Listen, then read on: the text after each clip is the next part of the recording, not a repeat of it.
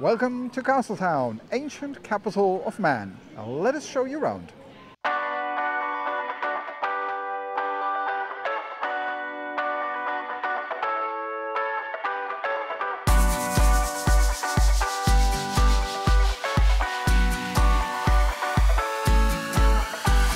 The biggest attraction in Castletown is of course Castle Rushen. One of the best preserved medieval castles in the whole of Europe. This one was built in the 12th century I believe for a Norse king. Has seen a lot of use over the years. Uh, I think parliament was there, it was a prison, it was all sorts of things. You can visit inside. Now I'm not going to go in because it costs 12 quid, but it's totally worth going inside. It's very well preserved. It tells you a lot about the history of the Isle of Man. And if you go right to the top there, then you also get really, really nice views of Castletown. And of course, Castle Rushen being right in the center of Castletown, this also puts you in close proximity to many other attractions, such as the Old House of Keys, which is right here across the road. From 1821 to 1874, this was the home of Tynwald. Before that, our parliament didn't actually have a permanent home. I believe they used to meet in the bishop's library and, of course, in the castle as well. 1821 to 1874, well, 1821 or thereabouts, someone decided maybe it's time to have a permanent home, you know, just to call it a parliament. So this was it. 1874, they moved on to the building that I showed you in the Douglas Guide, what we call the wedding cake, but this is the old House of Keys here in Castletown. You can visit this, but I believe you need a booking. I will put the link to Manx National Heritage in the description because what you can do is if you're a group, you can do a group booking and then you can go in there and sit down like the politicians of old and, well, pretend to play politics. And I'm pretty sure you're not going to do a much worse job than the current lot that we have. And right next to the old House of Keys, which is there, you're going to find the old grammar school. This building, which you can also visit during the summer months, should be open. It was started like as a chapel, I believe in the 13th century, so it's really, really old. And then it was converted into a school, so you can visit that. You can see how you know, kids used to get their education in the Isle of Man in the olden, olden days. Now, kids back then may have had it a little bit harder than kids today, but they certainly didn't lack a really stunning sea view.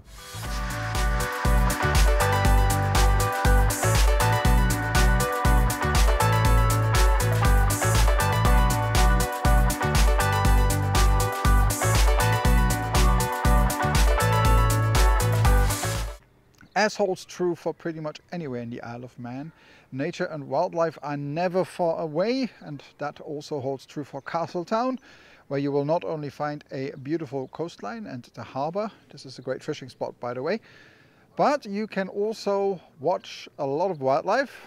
Again, we have some free, where's it gone? There, binocular thing here and some description. If you're lucky, you may even find our or spot our most famous visitor on the Isle of Man, and that of course is the basking shark, the second biggest fish in the world.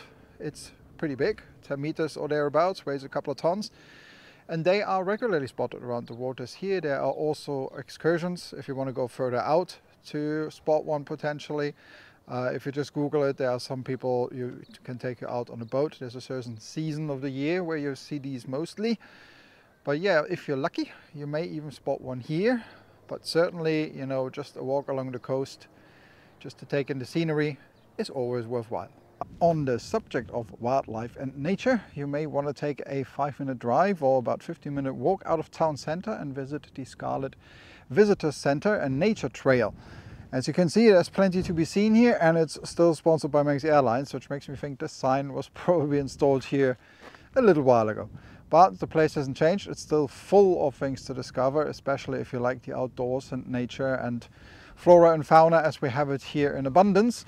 And the visitor center will also guide you. And there are people here when it's open, opening times, I'll stick it in the description, who can basically tell you all about the things you can see on the island and I assure you it's a very beautiful and very biodiverse place which is why the whole Isle of Man as a country is the only country in the world where the whole place is a UNESCO biosphere so if you like nature this is your place.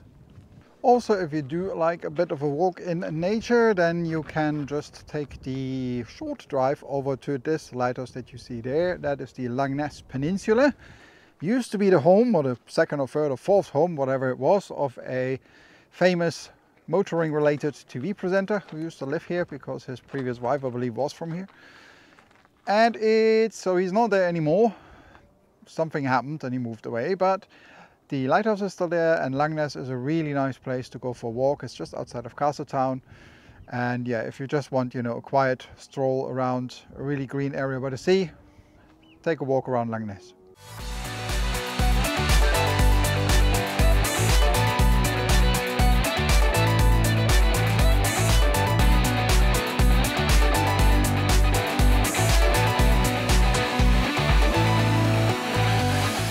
If you're in Castletown, try Radcliffe's Butchers. They have a selection, great selections of local meat. And I'm still trying to find out the recipe for their beef stroganoff. There's two food recommendations for you. You can try Kizuna Japanese restaurant, where you, the only Japanese restaurant in the island, and they offer different sushi selections. And if you want to try something simple, try, go to Secret Pizza. They offer vegan and gluten-free pizzas. And if you want to try something sweet, go to Memory Lane Sweet Shop. One place really worth visiting if you're in Castletown or right outside of it to be precise is the Manx Aviation and Military History Museum.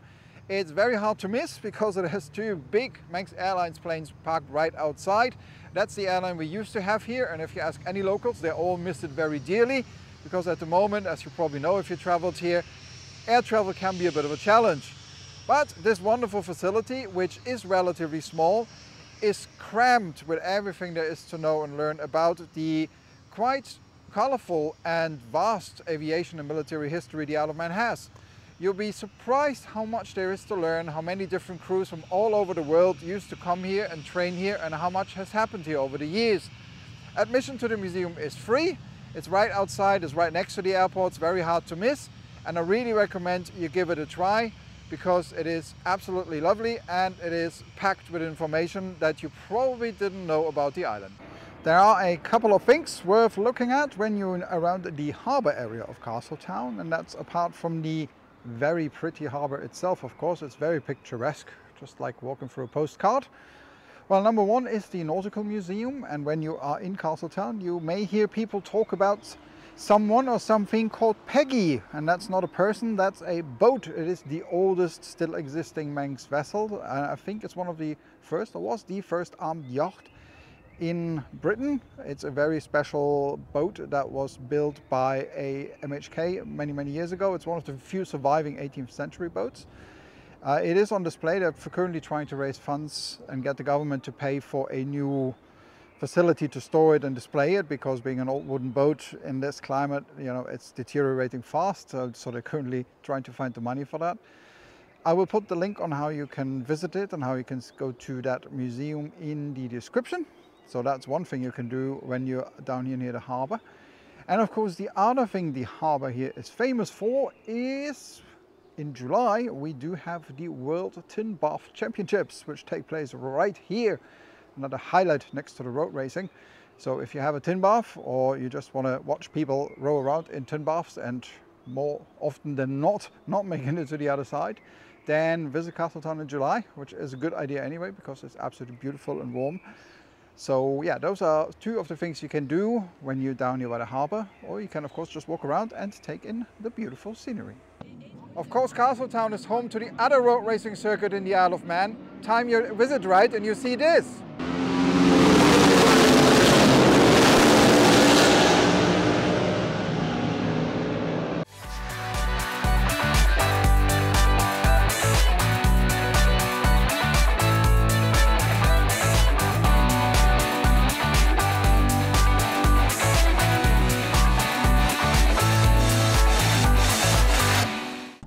So if after all that walking you've had enough of walking around and looking at things and you just want to relax a bit, then I recommend you drive out towards Derbyhaven, which is near the airport. When you drive there, you will pass on the right hand side what is known as Hango Hill.